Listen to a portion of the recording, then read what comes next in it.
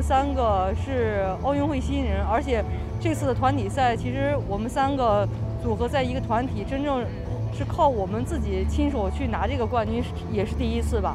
其实对于我们来说，也是一个全新的突破吧。这个冠军，我觉得还是首先祝贺我们三个吧。然后我觉得我们三个的付出吧，还是得到了收获吧。然后也希望，嗯，未来我们三个能够全力以赴，继续一起拿更多的冠军吧。我们这一这一次打得非常有气势，然后也是打出我们青年轻人的这种呃精神面貌。然后从我自己来说，我觉得没打够吧，还想接着打，还想再去展现自己，然后为国争光。